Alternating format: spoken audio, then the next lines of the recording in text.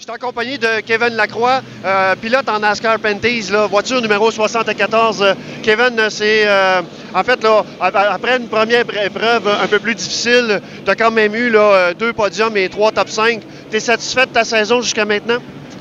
c'est sûr qu'on a eu quand même des bons résultats, mais je ne suis pas entièrement satisfait. On a eu des problèmes avec la voiture qu'on a, on l'a tardé à trouver, à, réparer. Donc, on vient juste de les trouver avant le week-end ici. Donc, on est on est enfin en bonne position pour une bonne fin de saison, mais il était temps, puis c'est pas à ça que je m'attendais, mais je veux dire, euh, l'équipe Bumper to Bumper a fait un excellent travail, puis on s'améliore en tant qu'équipe. On est encore une année recrue, donc on a le temps pour le futur de, continuer à l'apprendre puis avoir des bons résultats, mais je suis confiant pour le reste de la saison. Mais tu réussis quand même là, à, piloter et puis à, compétitionner avec les voitures de tête. Qu'est-ce qui fait que tu es si constant?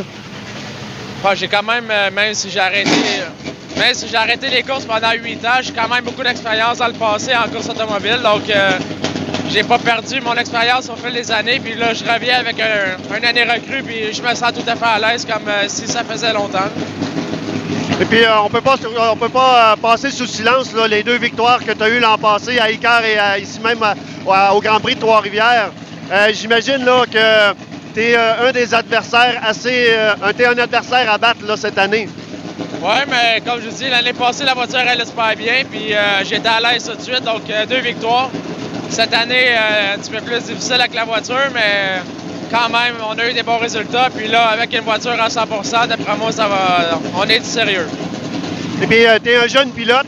Ton cheminement dans ta carrière de pilote, c'est parti de où?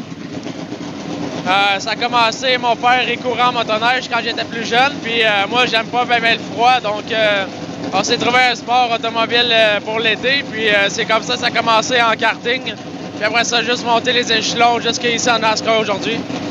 Écoute, Kevin, merci beaucoup et puis euh, bonne fin de saison. Parfait, merci.